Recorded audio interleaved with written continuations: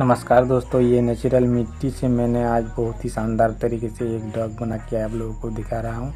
और इस वीडियो को पूरा स्टेप बाय स्टेप और इसी तरीके का और भी वीडियो देखने के लिए चाहते हो तो इस चैनल को सब्सक्राइब कर दीजिए वीडियो अच्छा लगेगा तो एक लाइक ज़रूर कर देना दोस्तों साथ में कमेंट भी कर देना दोस्तों